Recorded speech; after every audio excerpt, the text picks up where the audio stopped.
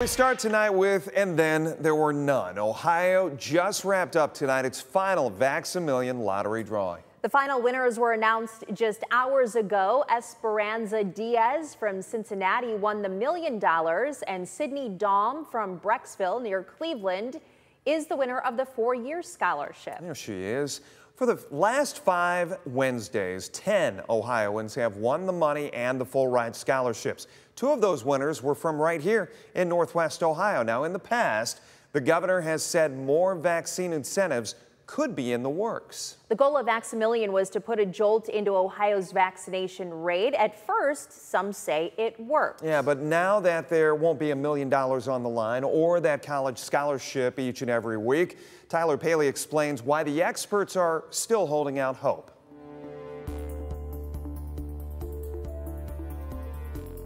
Six weeks ago, Ohio's governor provided a bombshell. Let's do this, Ohio. Let's get it done.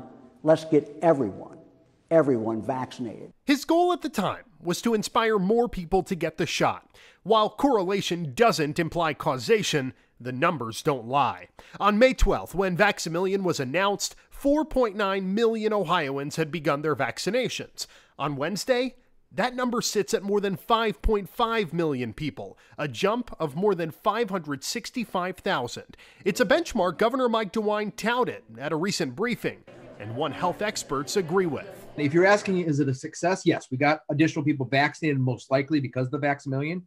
Uh, I don't know if it is the success I think everybody's hoping for. We didn't get to that 70%. Toledo Lucas County Health Commissioner Eric Zgodzinski says the state's recent trend lines up with the county's. More than 46% of Lucas County residents are vaccinated, but the numbers have been dropping lately everybody's triggered a little bit differently. Everybody is triggered some way to get vaccinated for COVID. The key, he says, is finding what will motivate people who remain on the fence. Variants are still emerging, and doctors say the benefits of getting vaccinated haven't changed.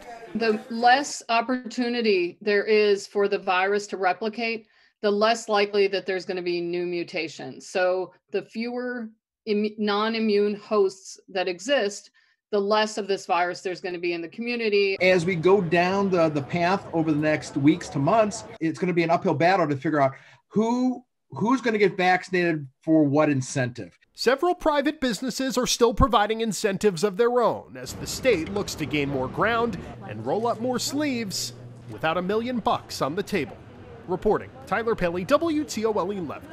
Tonight's Vax-A-Million winner was picked out of more than 3.4 million entrants. As we said, the scholarship winner was one of nearly 155,000 vaccinated students.